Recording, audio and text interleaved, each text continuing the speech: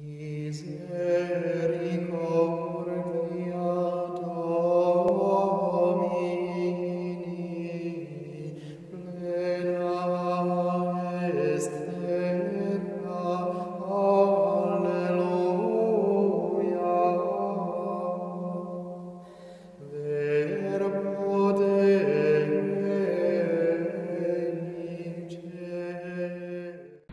Iubiți credincioși, dragi ascultători, Hristos a înviat.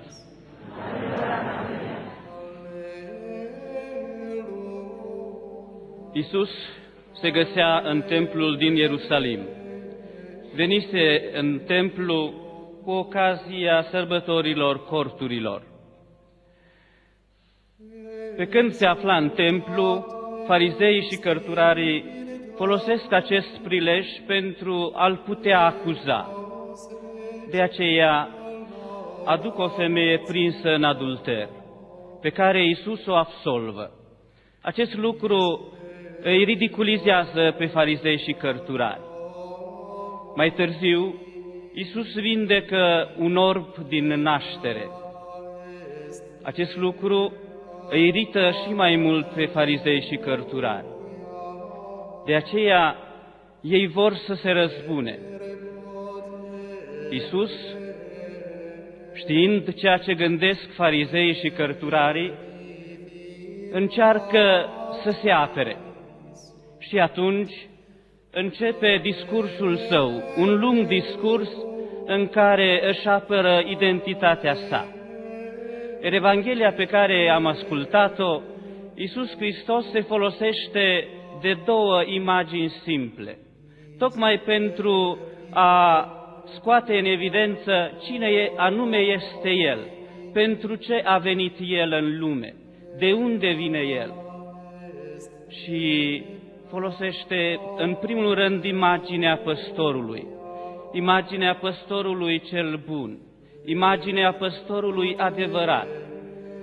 Și acest lucru îl folosește în contrast cu imaginea păstorului fals, și chiar îi numește hoți și tălari pe acest, acei păstori care nu sunt păzitorii turmei, care nu sunt aceia pe care turma îi recunoaște ca și păstori.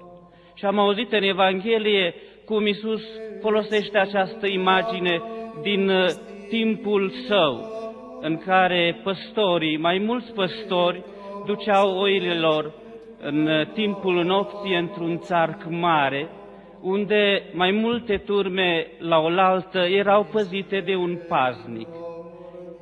Iar acel paznic stătea până dimineața și când veneau păstorii, fiecare păstor își alegea turmele sale și, așa cum spune Isus, oile veneau după el, iar păstorul mergea în față. Iată, Isus este păstorul care este recunoscut de către oile sale. Glasul său este recunoscut de oi și oile îl urmează în momentul în care au ieșit din țarc, merg după el, iar Isus merge în față. De aceea este păstorul cel adevărat, este păstorul cel bun. Am putea să spunem unicul păstor al cărui voce este recunoscut de către oile sale.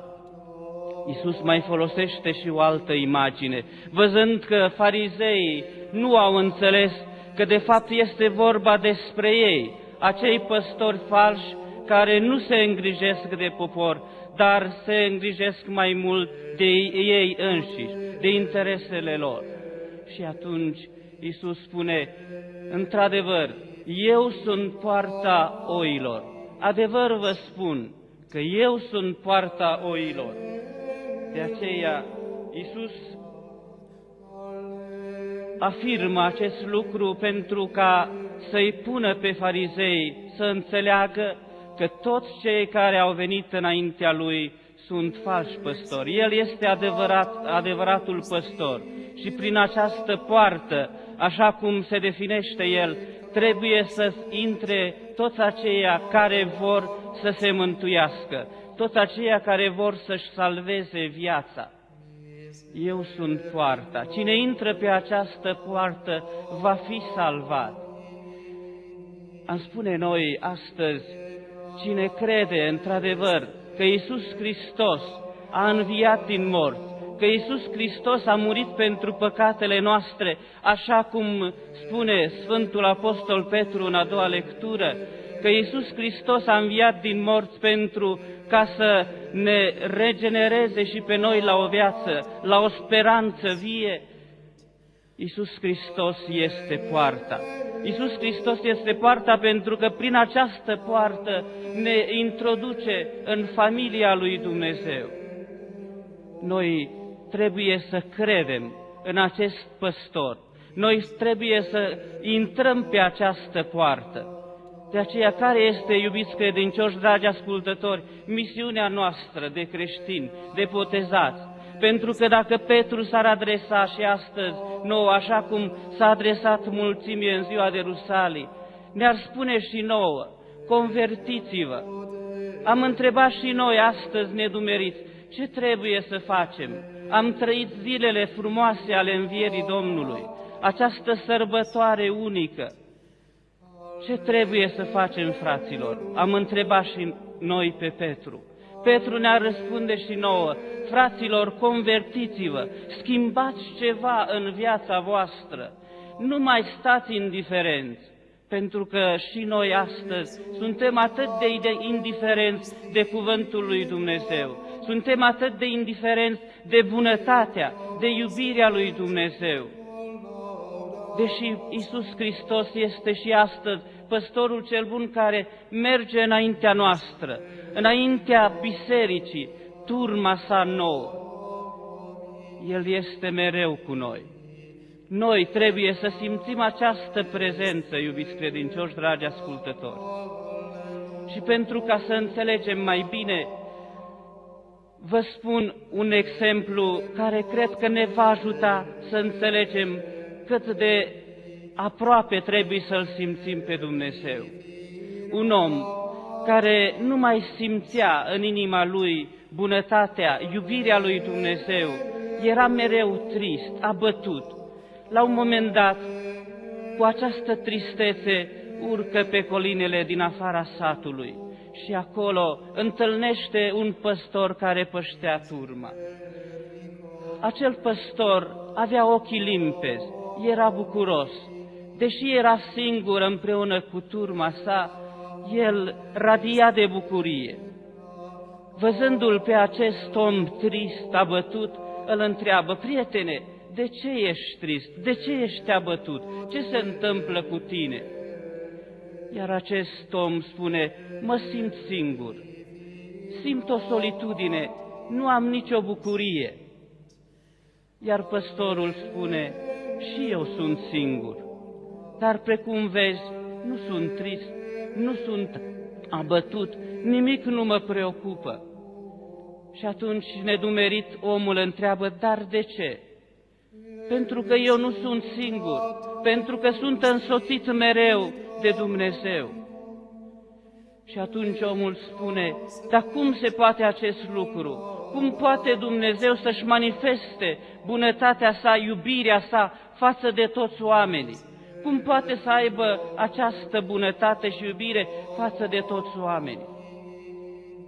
Și omul spune, privește în vale, vezi toate acele case din sat, vezi toate acele case care au fiecare ferestrele lor. Ei bine, dacă sunt atât de multe case și atât de multe ferestre, în fiecare zi, de-a lungul unei zile, prin aceste ferestre intră razele soarelui. Este un unic soare, sunt mai multe ferestre, dar prin aceste ferestre pătrunde lumina soarelui, căldura soarelui. Avem, iubiți credincioși, un unic păstor, Hristos, dar El este soarele. Important e ca noi să deschidem ferestrele inimilor noastre, pentru că acest păstor i-a spus la un moment dat acestui om, deschide fereastra, pentru ca să poată pătrundă soarele, razele soarelui, lumina soarelui. Și atunci acest om a înțeles. A înțeles că trebuie să deschidă ferestrele inimii sale, să-L accepte pe Iisus Hristos, bunul, bunul păstor în viața sa. Și a făcut așa. Și noi astăzi suntem invitați de către Sfântul Părinte Papa Benedict al XVI-lea în mesajul pe care l-a adresat cu ocazia Zilei Mondiale de Rugăciune pentru Vocații. Suntem invitați ca să ne deschidem inimile noastre, să simțim această bunătate și iubire a lui Dumnezeu și să o mărturisim. Pentru că Sfântul Părinte Papa spune, nu numai preoții, nu numai persoanele consacrate trebuie să fie misionarii cuvântului lui Dumnezeu, trebuie să fie mărturisitorii cuvântului lui Dumnezeu la toate neamurile, dar toată comunitatea, întreaga turma lui Hristos, trebuie să dea mărturie despre această bunătate și iubire a lui Dumnezeu, care s-a manifestat de-a lungul viacurilor și se manifestă și astăzi. De aceea să avem acest curaj de a deschide fereastra inimilor noastre și să schimbăm ceva în viața noastră. Să nu plecăm din această biserică, să nu se termine această Sfântă Liturghie fără ca noi să luăm această propunere, să facem ceva, ceva bun care să schimbe inimile noastre, ceva bun care să atragă atenția celor din jurul nostru și să se poată schimba. Ca ei, ei văzând faptele lor bune, Sfântul, spune Sfântul Petru, ca ei văzând faptele lor bune să vadă și să-L recunoască, să-L recunoască pe Iisus Hristos, bunul păstor. De aceea, noi vrem să răspundem la această invitație a Sfântului Părinte Benedict al XVI-lea cu cuvintele noastre, dar mai ales cu faptele noastre, cu modul în care noi am înțeles astăzi cum trebuie să-L urmăm pe păstorul nostru cel bun, Isus Hristos. De aceea să-L rugăm astăzi pe Isus bunul păstor, să cheme cât mai mulți să-L urmeze, să-L urmeze în viața de preoție, să-L urmeze în viața consacrată, dar mai mult să-L urmeze în vocația adevărată de creștin și să răspundă la invitația sa de a intra pe poarta oilor, de a intra pe poarta care este El, pentru ca să poată să fie mântuiți. Acest lucru vă urez tuturor dumneavoastră, ca bunul păstor să vă ajute să puteți într-adevăr să recunoașteți în El, să recunoașteți vocea Lui de bun păstor, pentru ca, recunoscând glasul Lui, să-L putem recunoaște și atunci când ne va chema pentru a ne bucura împreună cu El de răsplata fericitilor în cer. Amin.